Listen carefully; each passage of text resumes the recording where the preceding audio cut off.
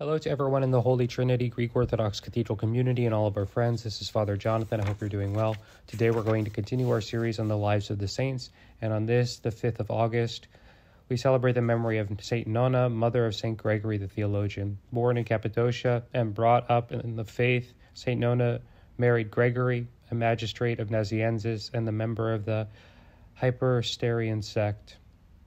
Her patience and prayer brought about the conversion of her husband, who became bishop of the city for the next 45 years.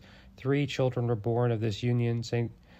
Gorgonia, St. Caesarius, and especially St. Gregory the theologian, who had been given by God in reply to their prayers. St. Gregory often mentioned the devout example of his mother in his works and said that, clothed in the body of a woman, she had the souls that raised her above the most valorous of men.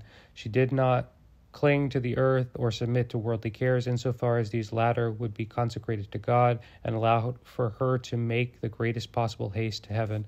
Forsaking false show and adornment, she had her only care to give honor to the image of God imprinted on her soul, and she considered there to be no other nobility than that of piety, through which we are given the knowledge that we came from God and must return to Him. Mortifying her flesh, flesh by fasting and night vigils, she told her children that she would have wished to sell herself and them with her to be able to give away their price in alms to the poor.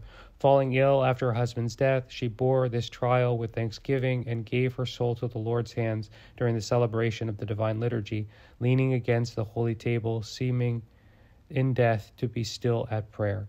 By the prayers and supplication of Saint Nonna, the mother of Saint Gregory the theologian, may the Lord God have mercy on us and save us. Amen. God bless you. We're here for you. We love you dearly. Don't hesitate to reach out. Call us, email us, leave us a message on social media. Leave us a note in the comment section if you'd like to support this ministry. Remember to like and subscribe to our YouTube channel and follow us on social media. Again, God bless you and have a beautiful rest of your day.